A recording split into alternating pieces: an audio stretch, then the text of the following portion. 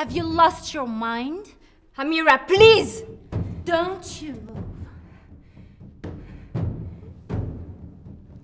Let's see how much the king likes your curiosity.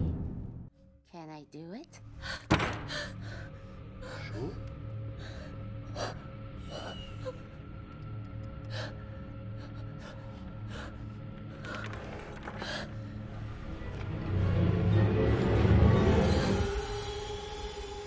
Stop moving. It hurts more.